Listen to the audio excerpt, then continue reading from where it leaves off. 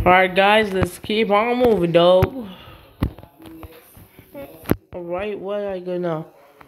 But be careful, the wind will always be helpful. It may be dangerous.